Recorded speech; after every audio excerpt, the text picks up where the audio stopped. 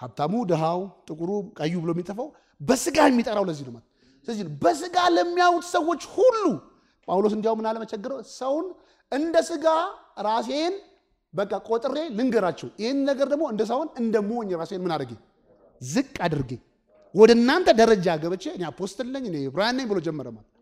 ይህን ስናገር ግን አለ ማለት spiritual ሆኜ አይደለም ማለት ሞኝና እብዶኝ ማለት ነው። እዚህ ደረጃ ገብቼ ለመመካት ካፈለጋችሁ አንደኛ ነኝ አለ። ይሄ ግን አለ መንፈሳዊ አይን ሲበራ እንደ ጉድፍ ነው እንደምን ቆጥረዋለሁ አለ እንደ ጉድፍ የሚጣል ነገር ነው ማለት ነው።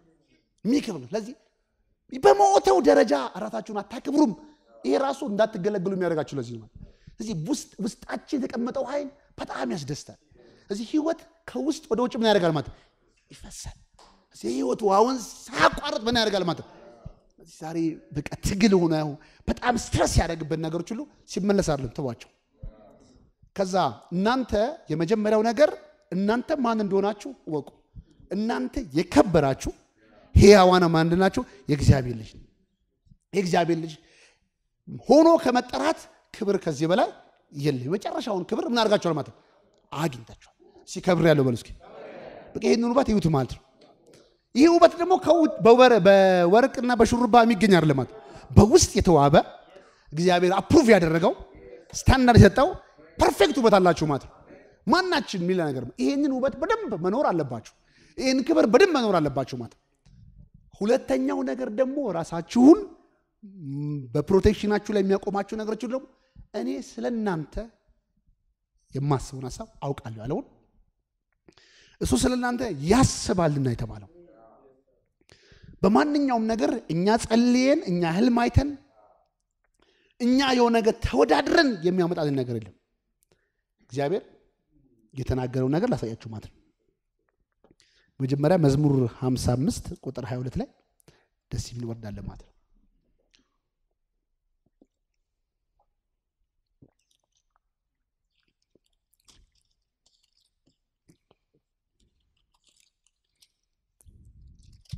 መዝሙር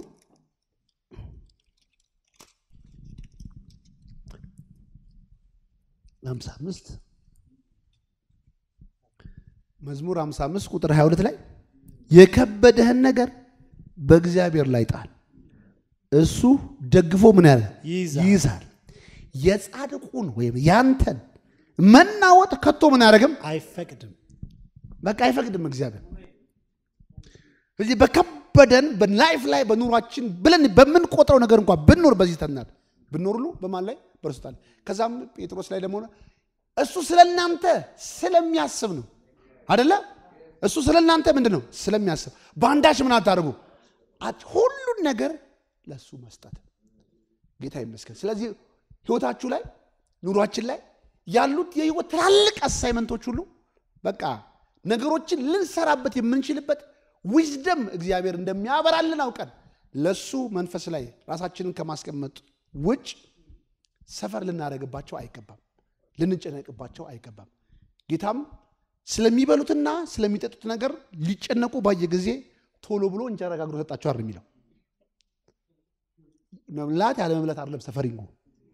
እግዚአብሔር አባታቸው ይህንን ነገር ምን ያህል እንዳቀረበ አለማየት ነው። ይሄ እናንተ የገዛ አባታችሁ ከእናንተ ውጭ የሆኑትን አበቦችና ወፎችን እንኳን እንዴት አድርጎ ያበላል፣ እንዴት አድርጎ ያለብሳል። ስለዚህ እናንተ በአንዳች ነገር አትጨነቁ። የአባታችሁን መንግስታችሁ ማን እንደሆነ ያንን ዊዝደም ያንን ብርሃን ለማግኘት ራሳችሁን አሳድጉ።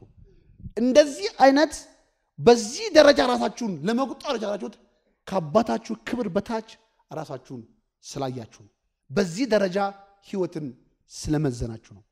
እና ሁሉ ህይወት ከዚህ ከእግዚአብሔር አቅም ወይም እግዚአብሔር ከሰጠን ማንነት የሚገኝ ነው እና ሁላችንም ህይወታችሁ የቀና ወይም ጥሩ መስመር የያዘ የመሰላችሁ ከየትኛው ደረጃ ነው?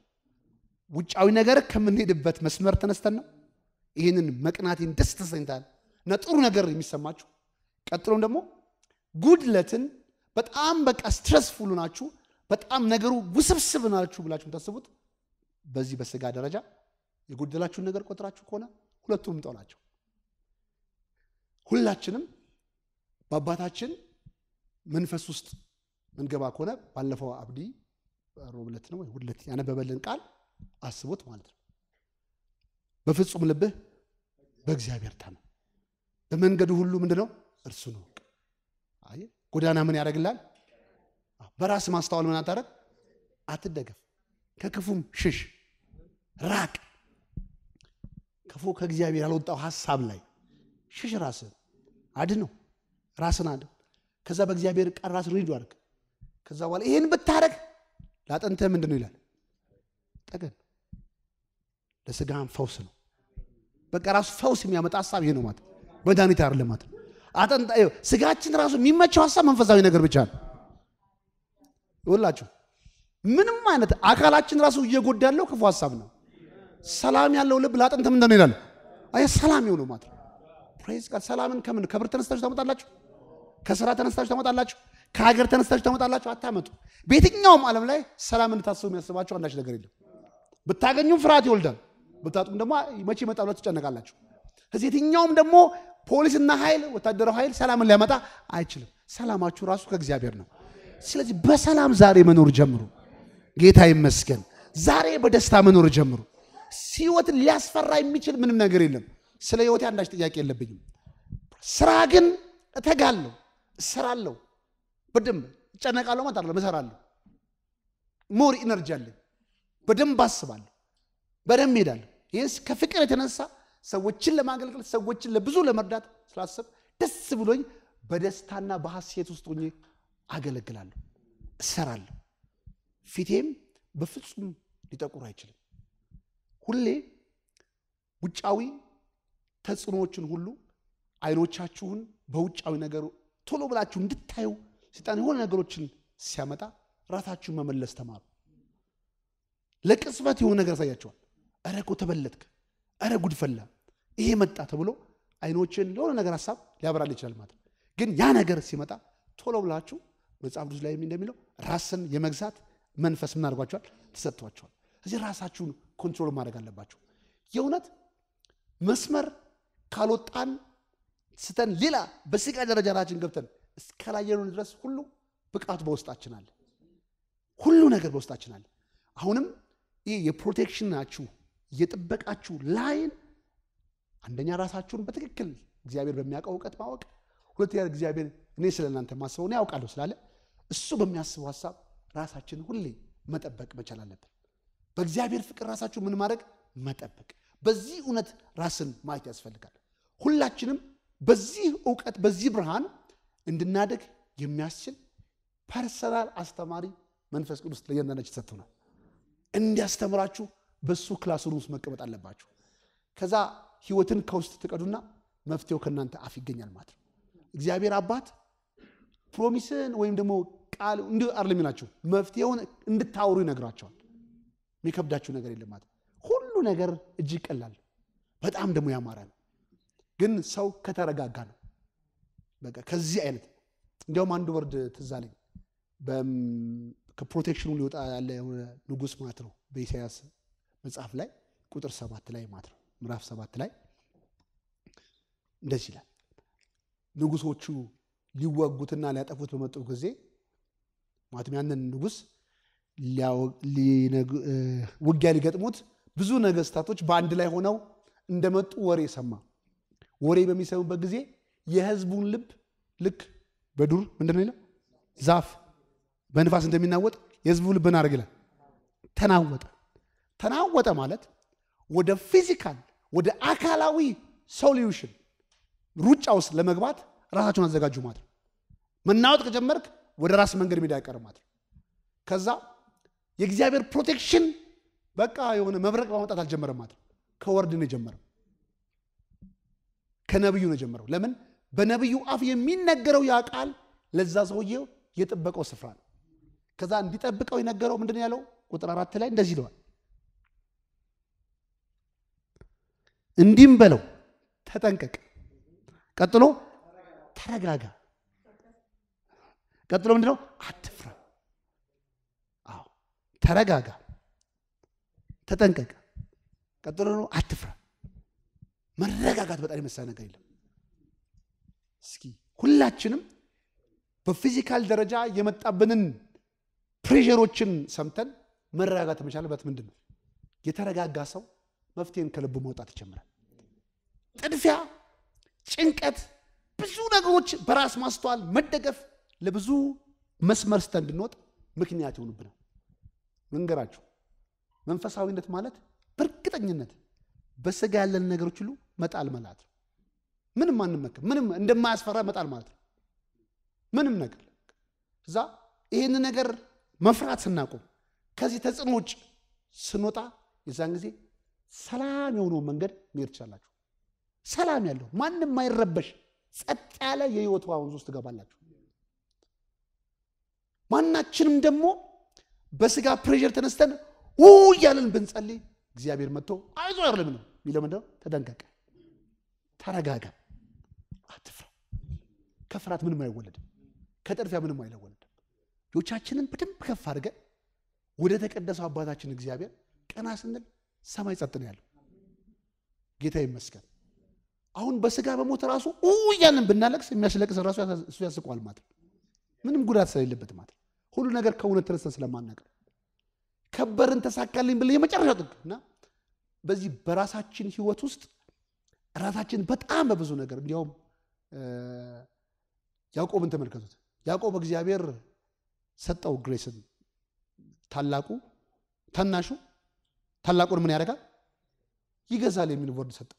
ይሄ እግዚአብሔር በምሳሌ ከፍታ ወይም ልጅነት በምርጫ በመወለድ እንጂ በስራ የማይገኝ መሆኑን ለማስተማር ለሚመጣው ቃል ኪዳን ምሳሌያዊ ህይወት የሚያስተምሩ ናቸው። ምንም ከዛ ይህን ወርድ ከተቀበለ በኋላ ያዕቆብ ይሄ ዲዛይርን በራሱ በሆነው ትግል ለመሙላት ያልሄደው ያልቆፈረው ነገር የለም። ታግሏል፣ ተደባድቧል፣ በሪያርዶ ምን ብሎ በጋርዶ ምናምን ቀረቧል ማለት ነው። ግን ሁሉን ነገር ቢያገኝ ቢሄድም ያለው ነገር ላይ ግን የቀነሰውም የጨመረው ነገር የለም። ግን ያለውን ትልቅ ነገር ለማድረግ በሄደበት ጊዜ ብዙ ኮንፍሊክት፣ ብዙ ችግር ውስጥ ነው የገባው ማለት ነው። መጨረሻ ላይ ሄዶ ምንድን ነው ያደርገው ማለት ነው? በጉንም ሚስቱንም አጥፉልኛል። በቃ ወደዚህ ደረጃ ሊያደርሰኝ ከሚችል ከእግዚአብሔር ጋር ህብረት አደርጋለሁ።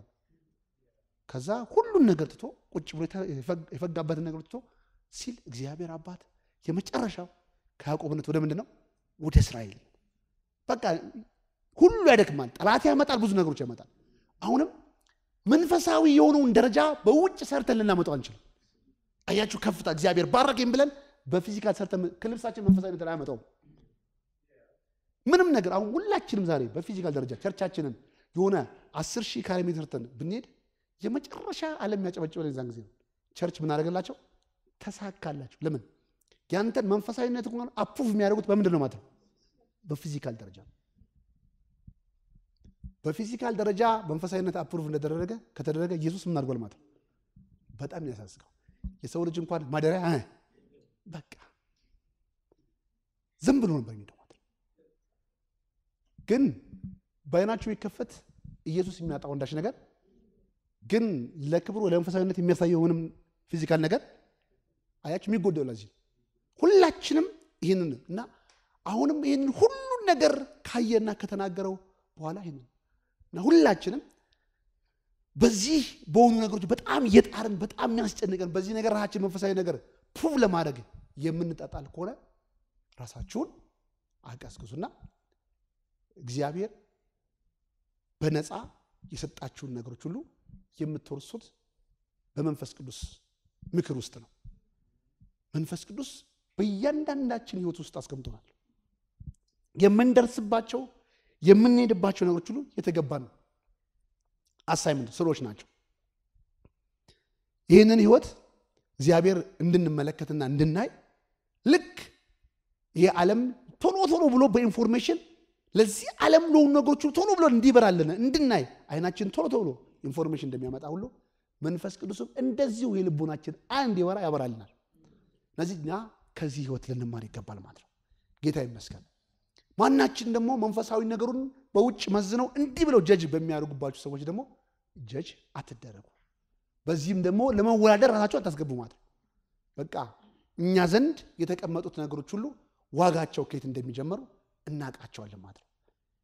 ጌታ ይመስገን። ስለዚህ የጥበብ ሁሉ ምንጭ አባታችሁ እግዚአብሔር አለ። ለመዋሸት፣ ለመጣላት፣ wrong መንገድ ለመሄድ በምንም በውጫዊ ነገር ተጽዕኖ ውስጥ እንዳትገቡ ይህንን ነገር control ማድረግ መልመድ አለባችሁ ማለት ነው። በመንፈስ ቅዱስ ራስን ማረጋጋት ያስፈልጋል። ለመማር ለምንም አንዳንዴ ማንም ሰው ሰው የሚባለውን ቤተሰብ የሚባለውን ማንም ሊተካልን አይችልም። ምንም physical ነገር ጓደኛን፣ ወንድ ሰውን ሊተካልን አይችልም ማለት ነው። አንድ ጊዜ ሰዎች በጣም ያስፈልጉናል ብለን የምናስበው ትንሽ ስለሆኑ ይሆናል። ምንም opportunity ስለሌለ ነው ይችላል።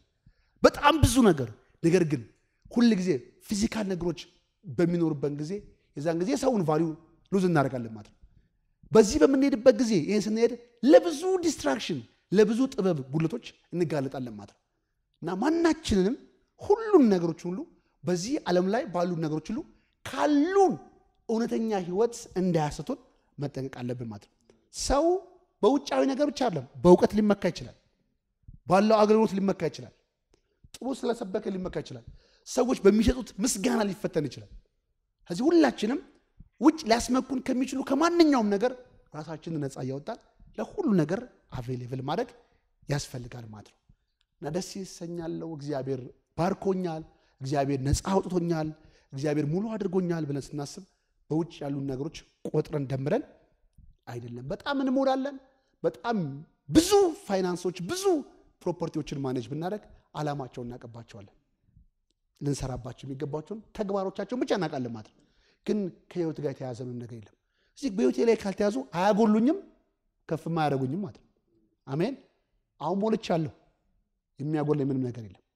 ሁሉም ነገር ሙሉ ነው። ሁሉ ነገር በእግዚአብሔር ስታንዳርድ የተዋበ ነገር ነው። መልካም የሆነ ነገር ነው። ጌታ ይመስገን።